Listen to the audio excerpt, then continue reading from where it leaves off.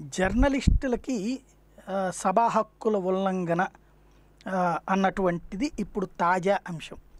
TV five Sambasivarao గారి మీద తాజాగా విజయసాయిరెడ్డి సభా హక్కుల ఉల్లంఘన అన్నటువంటి నోటీస్ ఇచ్చారు అన్నటువంటి దాని మీద కంప్లైంట్ చేశారు అన్నటువంటి కీలకమైనటువంటి పరిణామం సరే ఇప్పుడు తెలుగుదేశం అనుకూల పక్షం వైఎస్ఆర్ కాంగ్రెస్ పార్టీ అనుకూల పక్షం మీడియా రెండుగా విడిపోయింది. యాజమాన్యాలు వెర్సెస్ పార్టీలు అయినాయి వాస్తవంగా. సాక్షి అంటే స్వయంగా అది వైఎస్ఆర్ కాంగ్రెస్ పార్టీ సొంత పేపరు సొంత ఛానల్ అని అనుకోవాలి జగన్మోహన్ రెడ్డి గారు. ఎందుకంటే రాజశేఖర రెడ్డి బొమ్మతోనే నడుపుతున్నారు కాబట్టి.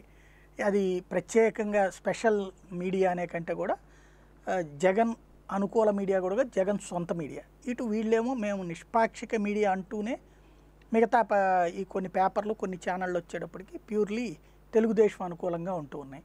ఇలాంటి సందర్భంలో ఇప్పటిదాకా యాజమాన్యాలు వెర్సెస్ పొలిటికల్ పార్టీస్ నుంచి ఇప్పుడు జర్నలిస్టుల మీదకి మళ్ళుతూ ఉంది. ఇది కీలకమైనటువంటి పరిణామం. మరి అది జర్నలిస్ట్ మీద కోపమా యాజమాన్యం మీద కోపం జర్నలిస్ట్ మీద తీర్చుకుంటున్నారనేది చెప్పాల్సిన బాధ్యత విజయసాయిరెడ్డి గారి మీదనే ఉంది.